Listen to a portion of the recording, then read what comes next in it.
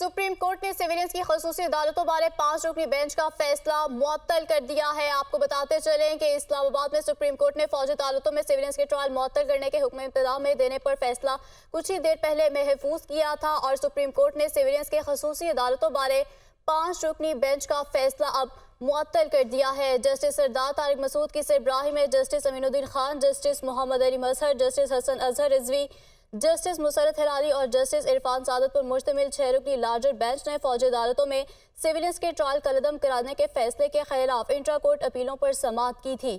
اسی پر بات کرنے کے لیے ہمارے ساتھ موجود ہیں حسیب ملک۔ حسیب، بتائیے اس بارے۔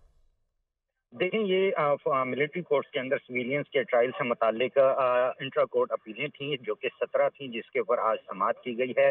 جسٹس طارق مسعود کی سربراہی میں چھ رکنی لارجر بینچ تھا، جس نے یہ سماعت کی ہے۔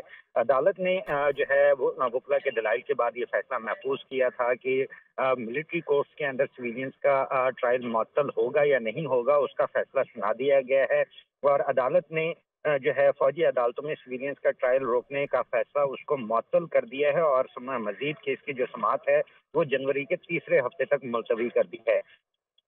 اس کے ساتھ ساتھ جو چھ رکنی یہ بینچ تھا تو اس نے عدالت نے پانچ کے مقابلے میں ایک کی اکثریت سے یہ فیصلہ سنایا ہے۔ جسٹس مسرت حلالی نے اکثریتی فیصلے سے اختلاف کیا ہے اور عدالت میں اب مزید اس کی جو کاروائی ہے وہ جنوری کے تیسرے ہفتے تک ملتوی کی گئی ہے اور اب کیونکہ اٹارنی جنرل کی جانب سے یہ استدا کی گئی تھی کہ جو جب تک اس کا جو فیصلہ ہے، اس کو معطل کیا جائے اور جو ٹرائل ہے فوجی عدالتوں کے اندر، جو سویلینس کے جو چل رہے تھے، ان کو جو ہے وہ مشروط اجازت دی جائے تاکہ وہاں پہ جو ٹرائل کا جو سلسلہ ہے وہ چل سکے۔ جس کے بعد مزید جب اس کے اوپر تفصیلی فیصلہ جاری ہوگا، اس کے بعد اگر مخالفت میں فیصلہ آتا ہے تو وہ تمام تر جو پروسیڈنگ ہوگی، وہ سارا کچھ ریورس بیک ہو جائے گی۔ تو اب اس وقت عدالت نے اٹارنی جنرل کی جو استدا تھی، مشروط استدا تھی یعنی کہ فوجی عدالتوں میں سویلینس کا ٹرائل کو جو ہے، جو فیصلہ ہے، اس کو معطل کیا جائے اور ایک شخص کی حد تک انہوں نے یہ استدعا کی تھی، اس کو جو ہے عدالت نے معطل کر دیا ہے اور باقی کاروائی کو جنوری کے تیسرے ہفتے تک ملتوی کر دیا گیا ہے، جبکہ ایک درخواست گزار سے جواد ایس خواجہ، ان کی جانب سے جسٹس سردار طارق مسعود کے اوپر اعتراض اٹھایا گیا تھا کہ وہ بینچ کا حصہ نہیں ہو سکتے کیونکہ وہ اپنا جو ایک مائنڈ سیٹ تھا وہ اس پہ ظاہر کر چکے ہیں، تو اس کے اوپر جو ہے ان کی جانب سے اعتراض اٹھایا گیا تھا۔ سماعت کے آغاز میں جسٹس سردار طارق مسعود کی جانب سے اس اعتراض کو مسترد کیا گیا اور ان کی جانب سے یہ موقف اختیار کیا گیا کہ وہ بینچ کا حصہ رہیں گے۔ اور ان کی جانب سے باقاعدہ طور پہ جسٹس جواد خواجہ جو کہ سابق چیف جسٹس بھی رہے ہیں ان کے ہی فیصلے کا ایک حوالہ دیا گیا کہ جسٹس جواد خواجہ کی جانب سے اپنا ایک فیصلہ جاری کیا گیا تھا جس کے اندر یہ کہا گیا تھا کہ جج کے پاس یہ اختیار ہے کہ وہ کسی کیس سے علیحدہ ہو سکتے ہیں یا نہیں ہو سکتے تو اسی فیصلے کا حوالہ ٹھیک ہے۔ حسیب آپ ہمارے ساتھ ہی موجود رہے گا۔ ابھی ہمیں جوائن کیا ہے حافظ احسان احمد ماہر قانون ہے۔ بہت شکریہ آپ کے وقت آپ بتائیے گا۔ فیصلہ سامنے آ گیا ہے۔ کس طرح آپ اس فیصلے کو دیکھتے ہیں؟ کیا تجزیہ ہے آپ کا اس پہ؟ بسم اللہ الرحمن الرحیم۔ بہت شکریہ کہ آپ نے موقع دیا۔ آج دو چیزیں جو ہیں وہ سامنے آئی ہیں۔ ایک تو یہ ہے کہ یہ سیکشن فائیو جو پریکٹس اینڈ پروسیجر ایکٹ تھا، اس کے نیچے ایک انٹرا کورٹ اپیل تھی۔ اور جنرلی ہماری جو سپریم کورٹ یا ہائی کورٹس کے اندر ایک پریکٹس ہوتی ہے اگر uh, آپ کسی اپیل کو چیلنج کریں اور وہ اپیل جو ہے اس کے اگینسٹ فرسٹ اپیل آپ کی ہو، تو آپ کی جو آٹومیٹکلی جو چیز ہوتی ہے ججمنٹ ہوتی ہے، وہ سسپینڈ کر دی جاتی ہے۔ یہ ہماری جنرلی پریکٹس چلتی ہے، ہماری سپیریئر کورٹس کی، ان پاکستان کے اندر۔ جہاں تک دوسری بات ہے، اس چیز کے اندر وہ امپورٹنٹ اس لیے ہے کہ جو پہلا ٹوینٹی تھرڈ آف اکتوبر کو یہ آرڈر ایک آیا تھا، جس کے اوپر لا ہی اسٹرائک ڈاؤن کر دیا گیا تھا۔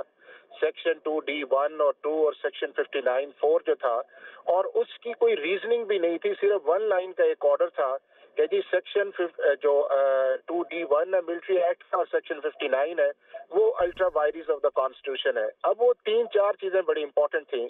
ایک یہ تھا کہ وہ جو سکسٹی سیون کے اندر لا آیا تھا، اس کو سپریم کورٹ آج تک ویلیڈیٹ کرتی رہی تھی اور اسے لارجر بینچ اس کو آپ ہولڈ کرتے ہیں۔ آئی تھی کہ ہماری فل کورٹ نے بھی اس کو اپہولڈ کیا تھا اس لیجسلیشن کو۔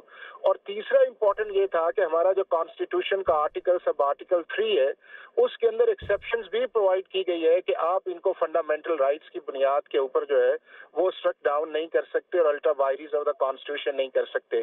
تو میں یہ سمجھتا ہوں کہ لیگلی اس وقت بھی جو ہماری سپریم کورٹ نے سنا، پہلے نو ممبرس کا بینچ تھا، پھر وہ سات پہ آیا، سات کے بعد وہ چھ پہ آیا اور اس کے بعد ایک چیف جسٹس صاحب جب چلے گئے تو پھر فائیو ممبرس بینچ نے دیا وہ جو ایک کانسٹیٹیوشنل انٹرپریٹیشن جس طرح ہونی چاہیے تھی آرٹیکل ایٹ تھری کی، وہ بھی نہیں کی گئی۔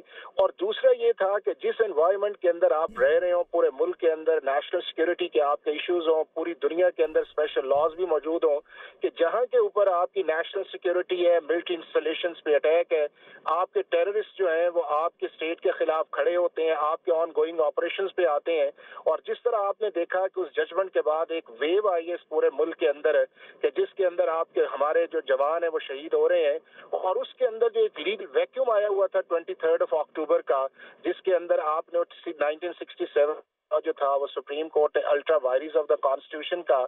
تو اس کانٹیکس کے اندر آج یہ چیز جو تھی، وہ سپریم پاکستان نے جو ججمنٹ سسپینڈ کی ہے، وہ بالکل لیگل ہے، مناسب ہے کانسٹیٹیوشنل ہے، تینوں۔ ایک فصل ہے اس کی سسپینڈ ہونی۔